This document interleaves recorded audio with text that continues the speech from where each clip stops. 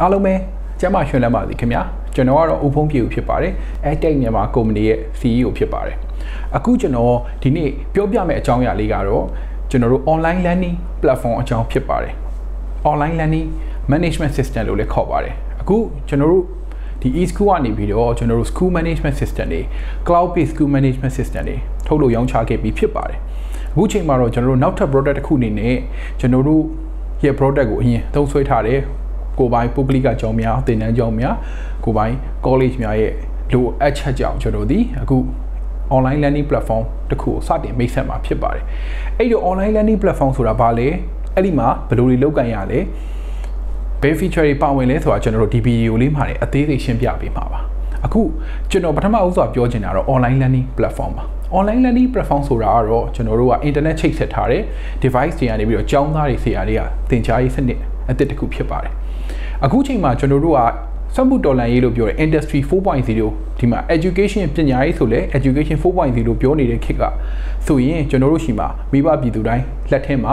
internet ချိတ်ဆက်ထားသော smartphone တွေရှိနေပါတယ်အဲ့တော့အကြောင်းသားအကြောင်းသူတွေလက်ထဲမှာလည်း smartphone တွေရှိနေသလိုဆရာဆရာမတွေလက်ထဲမှာလည်း smartphone တွေရှိနေပါတယ်အဲ့ဒီအတွက်ကြောင့်ကျွန်တော်တို့ online learning platform တစ်ခုကိုကျွန်တော်တို့ကလွတ်ဆောင်ရွက်နိုင်ဖို့အတွက်ကျွန်တော်တို့တိုင်းပြည်ကအဆင့်အသင့်ကိုဖြစ်နေပါပြီ အခုလိုမျိုး COVID-19 ရောဂါတွေဖြစ်တဲ့အချိန်မှာရုတ်တရက်ကျောင်းတွေပိတ်သွားကြတယ်ဆရာနဲ့ဆရာမတွေနဲ့ကျောင်းသားကျောင်းသူတွေနဲ့ကြားမှာအဆက်အသွယ်ပြတ်တောက်သွားဖို့မဖြစ်စေရန်အတွက်ကျွန်တော်တို့ကနေပြီးတော့ online learning platform ကို support လုပ်ပေးမှာဖြစ်ပါတယ် online learning platform မှာဘယ်လိုတွေလုပ်လို့ရလဲဆိုဆရာတွေကသူတို့ရဲ့ video lecture တွေကိုအဲ့ဒီပုံမှာတင်လို့ရပါတယ် video တစ်ခုလေးလားဆိုတော့မဟုတ်ပါဘူးကျွန်တော်တို့ PDF file နဲ့ဖြစ်စေ PowerPoint file နဲ့ဖြစ်စေသင်ခန်းစာတွေသူတို့ ကျောင်းသားတွေကိုသင်ပြခြင်းတဲ့သင်ခန်းစာတွေကိုကျွန်တော်တို့ကတင်ထားလို့ရပါတယ်တင်တယ်ဆိုတာလေကျွန်တော်တို့ဘယ်လိုမျိုးတင်ရမလဲဆိုရင်ကျွန်တော်တို့ chapter by chapter ဘာသာအလိုက် chapter အလိုက်ကိုကျွန်တော်တို့ content တွေအလိုက်ကိုတစ်ခုချင်းဒီစနစ်တကျတင်ထားလို့ရပါတယ်အခုလက်ရှိမှာ online ကစာမတင်နေဘူးလားဆိုလို့ရှိရင်တော့ကျွန်တော်တို့တချို့ကျောင်း သားတွေကိုတချို့ဆရာတွေကစတင်နေပါတယ်ဘယ်လိုမျိုးစတင်နေလဲဆိုတော့ Viber မှာ group တွေဖွဲ့တာလို့ Facebook ရဲ့ secret group လောက်တာတို့ ਨੇ စတင်နေပါတယ်အဲ့ဒါအားကြတော့ကျွန်တော်ဘယ်လိုပြောချင်လဲဆိုတော့လှေမဖြည့်ခင်မှာဝါဖောင်ထိုးသလိုပါပဲကျွန်တော်တို့ဒီလို landing management system ကြီးကောင်းကောင်းကြီးမရှိလာသေးခင်မှာကျွန်တော်တို့မြေဆန်းခင်းပြိုစလုပ်ရတာမျိုးတွေရှိပါတယ်ဒါပေမဲ့အဲ့ဒီ system တွေနဲ့ကျွန်တော်တို့အခု learning management system နဲ့ဘာကွာလဲအဲ့မှာလဲ video တွေတင်လို့ရတယ်ပုံတွေစာတွေတင်လို့ရတာပဲ အဲ့လိုတွေပြောကြပါတယ်ဘာကွာလဲဆိုတဲ့အချက်ကကျွန်တော်ပြောကြည့်ရင် Facebook group ပေါ်မှာကျွန်တော်တို့တင်လိုက်ပါတယ်မောင်မောင်ဖြစ်စေအကြောင်းသားတယောက်ဒီဒီသင်ခန်းစာကိုဘလောက်တိုင်းတာထိနားလဲလဲဆိုတော့စစ်ဆေးမှု assessment လုပ်လို့မရပါဘူး Viber group တွေမှာလည်းထိုနည်း၎င်းပါပဲလုပ်လို့မရပါဘူးကျွန်တော်တို့ learning management system မှာဆိုရင်သင်ခန်းစာတစ်ခုတင်ထားလို့ရှင်ကျောင်းသားဒီဒီ video file ရဲ့20ရာခိုင်နှုန်း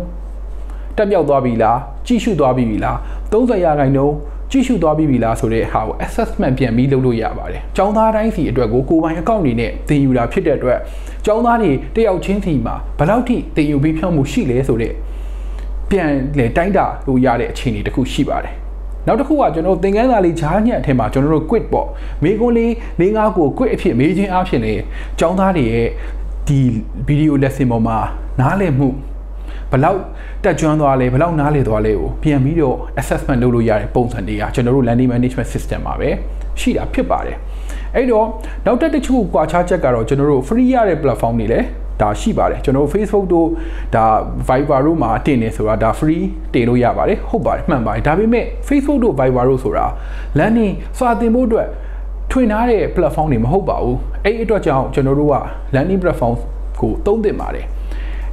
အဲ့ဒီအချိန်မှာကျွန်တော်ဗာပြောချင်လဲဆိုရင်ကျွန်တော်တို့ learning management system မှာလည်း online learning မှာလည်းကျွန်တော်တို့နှစ်မျိုးနှစ်ဆရှိပါတယ်